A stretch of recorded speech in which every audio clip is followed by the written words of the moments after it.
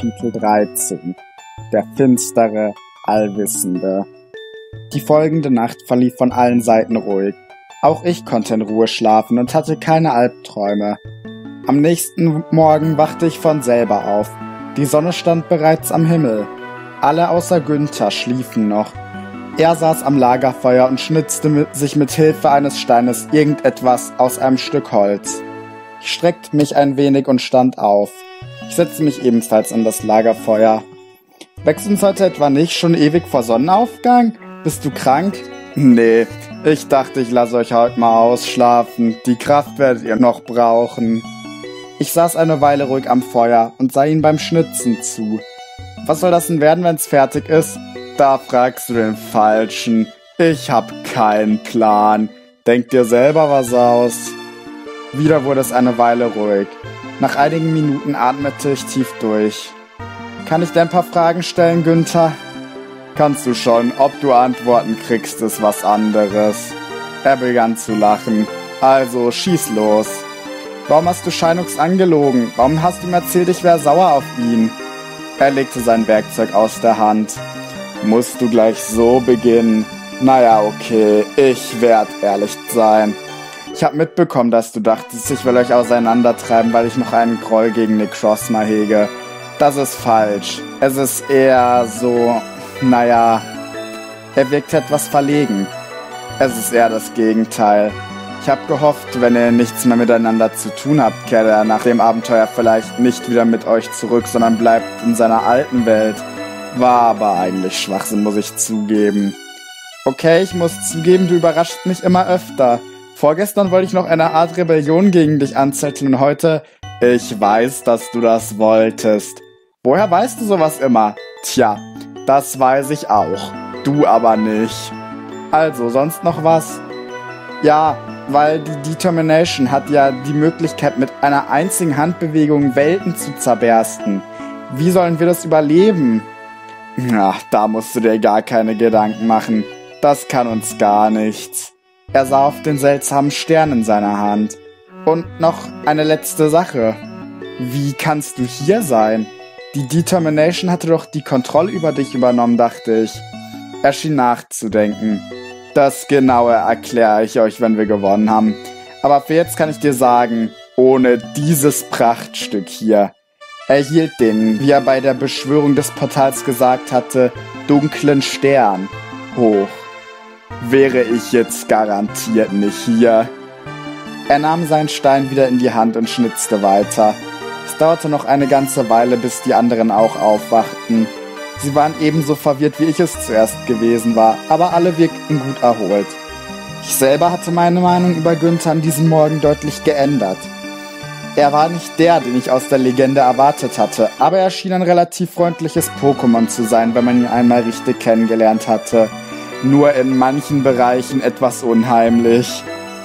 Nachdem alle richtig wach geworden waren und wir sogar ein kurzes Frühstück genießen durften, brachen wir endgültig in Richtung Berg der Wahrheit auf.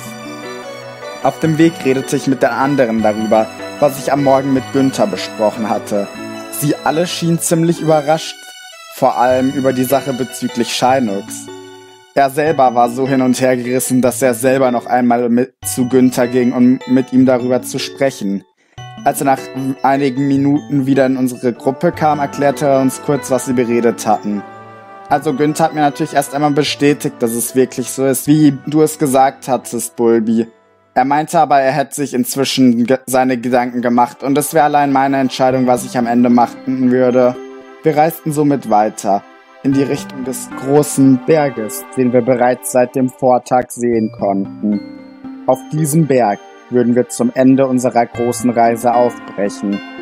Es kam mir persönlich so vor, als wären wir erst gestern aufgebrochen. Auf dieser Reise hatten wir wirklich schon viele Schwierigkeiten überstanden. Und ich wusste immer noch nicht, ob ich am Ende der Reise verschwinden würde. Aber egal was noch passieren würde, diese Reise hatte mir bis jetzt viel Freude gebracht viel Wissen, viele neue Erfahrungen und vor allem neue Freunde. Auf diesem Abenteuer hatte ich viel gelernt. Es hatte mich verändert und geprägt. Ich war in diesem Abenteuer an mir selbst gewachsen. Es dauerte nur wenige Stunden, bis wir am Fuß des Berges der Wahrheit ankamen, und sofort war ich verwirrt. In Floinks Geschichte stand da aber gar nichts von einer Höhle. Warum ist hier kein normaler Aufgang? Der ist auf der Rückseite des Berges. Das hier sind die letzten lebendigen Reste der alten Zivilisation dieser Welt. Wir müssen in die Kammer am Ende des Tunnels, um den nächsten spirituellen Felsen zu finden. Sie sind die einzigen Orte, an denen man zwischen den Welten reisen kann.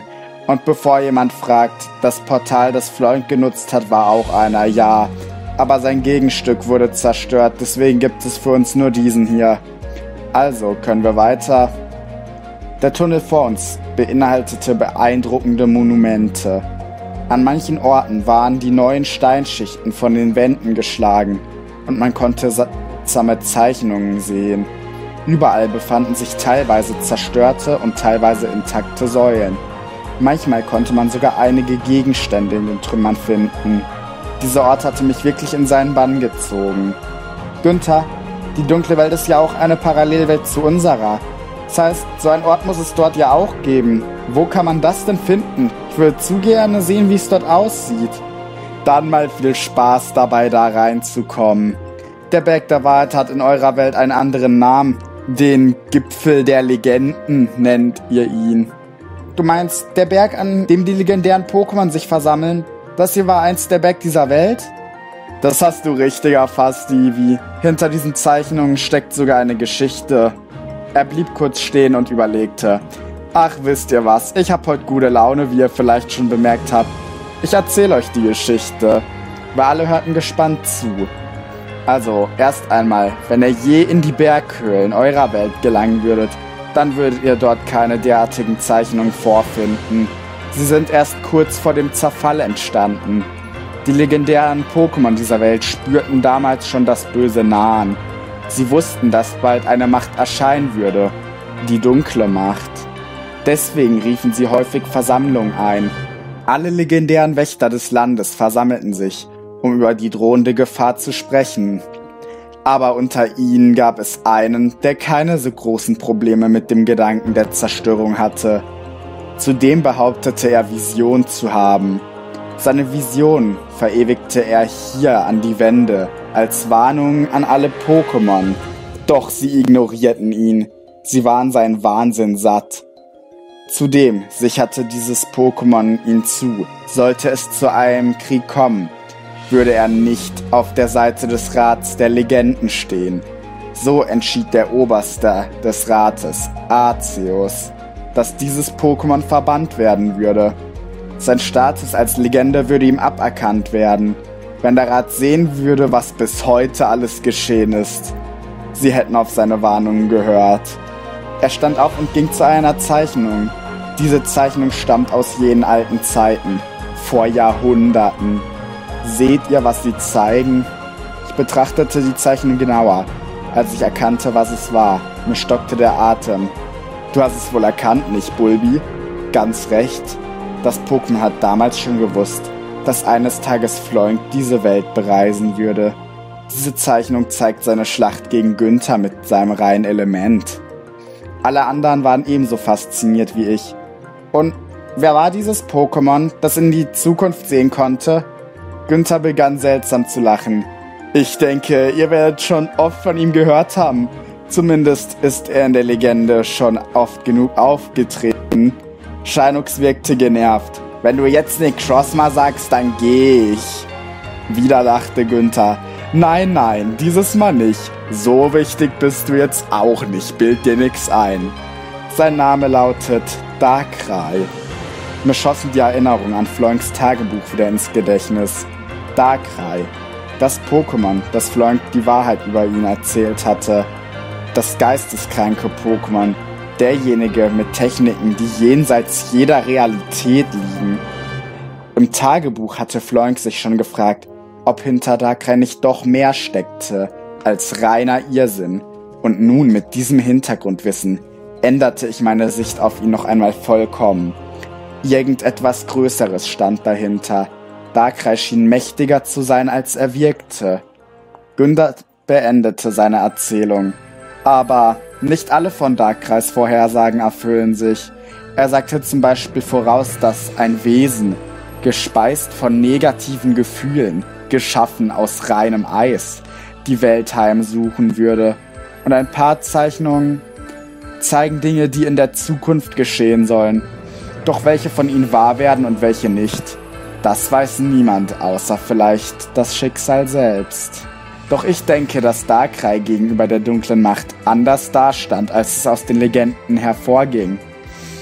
Ich denke, er war nicht ihr Unterworfener. Die dunkle Macht war für ihn eine Art Spielzeug. Er konnte sie nach Belieben manipulieren. Schließlich wusste er, wie sie handeln würde. Er führte unsere immer noch erstaunte Gruppe zu einer weiteren Zeichnung. Dies ist eine der Zeichnungen, die laut Darkrai die Zukunft zeigen. Aber schlau wird daraus keiner. Ich sah mir die Zeichnung genauer an. Was sie wirklich darstellen sollte, war nicht zu erkennen. Doch als ich das Bild genauer betrachtete, gefror mir wieder das Blut in den Adern. Was ist denn? Dieses Mal kannst du ja wohl nichts Gruseliges da drin erkennen, dazu versteht man's zu schlecht.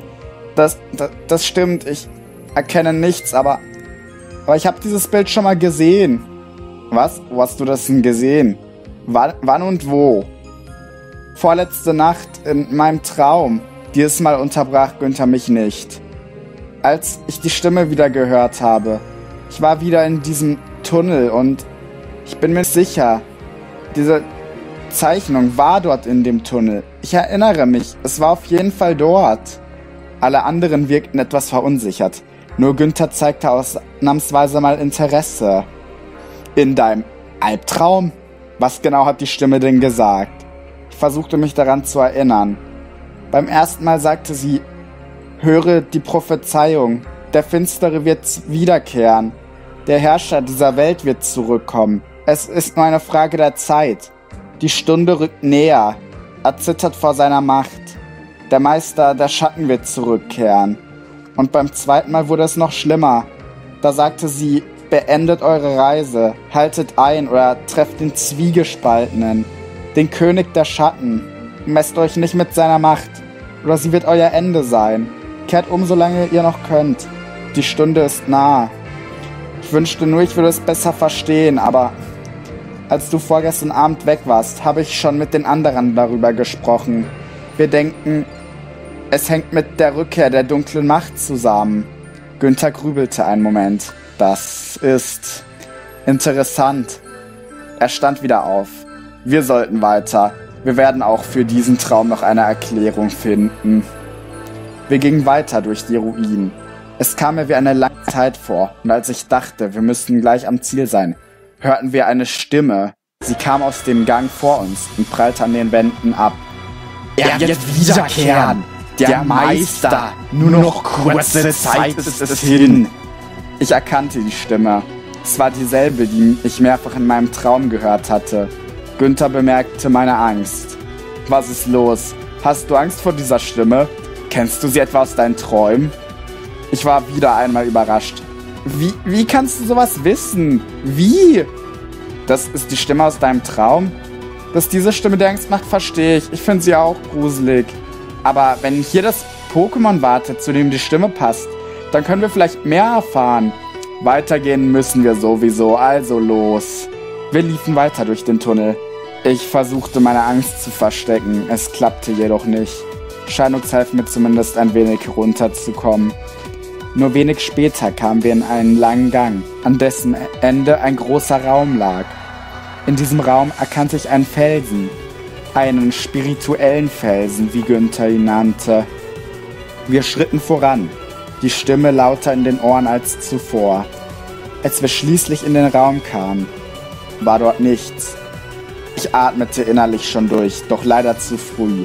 Scheinux starrte mit schockiertem Blick zur Decke. Ich folgte seinem Blick und sah irgendetwas. Ein Wesen hing an der Decke und starrte auf uns herab. Auf einmal ließ es sich fallen, mitten vor den Felsen. Ich habe euch gewarnt, kehrt um, es ist zu eurer eigenen Sicherheit. Dieses Pokémon war derjenige, der mir meinen Schlaf geraubt hatte. Er war derjenige, der mich im Traum angesprochen hatte, der seine Prophezeiung zu mir weiterleitete. Günther schien überrascht. Äh, wirklich? Du hast meine neuen Mitstreiter im Traum terrorisiert. Von dir hätte ich das nicht erwartet, Giratina. Das Pokémon Giratina, wie mir in diesem Moment klar wurde, Gott der Zerrwelt und Wächter eines Splitters der dunklen Macht, sah Günther verwirrt an. Wer bist du? Woher kennst du meinen Namen? Ich habe dich noch nie gesehen. Günther zögerte tatsächlich einen Moment. Natürlich, mich nicht, aber einen guten Freund von mir. Floink. Anstatt einer normalen Antwort begann er wieder mit seiner Prophezeiung. Der Meister! Er wird wiederkehren! In diesem Moment änderte sich Günthers Ausdruck vollständig. Warte, meinst du? Er wandte sich an mich. Bulbi. Er meinte nie, dass die dunkle Macht zurückkehren würde. Er hat von Floink gesprochen, dem dunklen Rächer. Das ist eine völlig andere Situation für uns. Eine so viel bessere. Ich bedachte noch einmal alles, was ich im Traum gehört hatte. Es konnte wirklich stimmen. Giratina hatte nie klar von der dunklen Macht geredet. Ja, er wird kommen. Messt euch nicht mit seiner Macht. Sie wird euer Verderben sein. Nun wirkte Günther verständnislos. Warum sollten wir uns mit ihm anlegen? Er ist mein Freund. Und nun lass uns durch. Auf einmal begann Giratina durchzudrehen. Ihr könnt nicht. Er würde euer Ende besiegeln. Der Meister. Er wird wiederkehren. Im nächsten Moment erschien auch Iveltal, der Wächter des ersten Splitters. Wir werden euch nicht passieren lassen können. Es war eine wirklich angespannte Situation, doch mir fiel etwas auf. Aber wenn ihr beide bereits hier seid, was ist mit Darkrai passiert? Warum ist er nicht auch hier? Giratina sah etwas wehmütig aus. Er war zur falschen Zeit am falschen Ort. Er hat nicht mit einer derartigen Macht gerechnet. Siehst du, wenn du uns durchlässt, können wir ihn retten. Er kann dann auch zurückkehren. Ich hatte wirklich erwartet, dass Shinux mit diesem Argument perfekt getroffen hatte. Doch Giratinas Stimmung wechselte wieder. Nein, ich kann es nicht zulassen. Nicht einmal für die Rückkehr unseres Anführers. Er und Iveltal machten sich kampfbereit. Wir wollten es ihnen nachtun. Im Bewusstsein, vor dem ersten großen Kampf unserer Gruppe zu stehen. Doch Günther stoppte uns. Haltet ein, das wird nicht nötig sein. Ich kümmere mich um die beiden. Er trat nach vorne. Günther führte eine seltsame Handbewegung aus. Ich sah nicht genau, was geschah, doch ich sah, dass sich Dunkelheit in seinen Händen formte. Sie stammte, so dachte ich, von dem dunklen Stern. Zudem schienen seine Augen zu leuchten, in einem Blauton. Ihr beide, Giratina, Iveltal, ihr macht uns besser sofort Platz, ansonsten lasst ihr mir keine Wahl. Ich rechnete damit, dass beide gereizt werden und auf Günther losgehen würden. Doch es geschah etwas Unerwartetes. Iveltal verschwand auf der Stelle und Giratina zuckte zurück. Aber, aber, Günther schien eine Wut aufzubauen. Los, beweg dich sofort! Und tatsächlich hörte Giratina auf ihn und verschwand auch im Nichts aber nicht ohne eine letzte Botschaft. Ich habe euch gewarnt, wenn ihr wollt, dass dies euer Schicksal ist. So sei es. Kaum waren sie verschwunden, sah Günther wieder normal aus. Kommt, es ist Zeit. Wir standen alle ausnahmslos, einfach nur erstaunt da. Ivy war die erste, die widersprach. Wie krass war das denn? Die beiden haben sich ja vor Angst fast in die Hose gemacht. Wie hast du denn das geschafft, Günther? Nach und nach fielen wir alle in ihre Begeisterung mit ein. Tja, das werdet ihr schon selbst herausfinden müssen. Das bleibt geheim. Zumindest für jetzt. Also los, die zerstörte Welt wartet.